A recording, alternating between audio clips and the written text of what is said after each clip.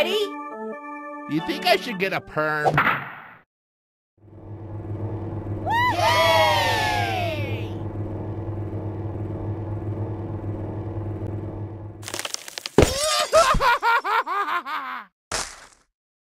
Sorry!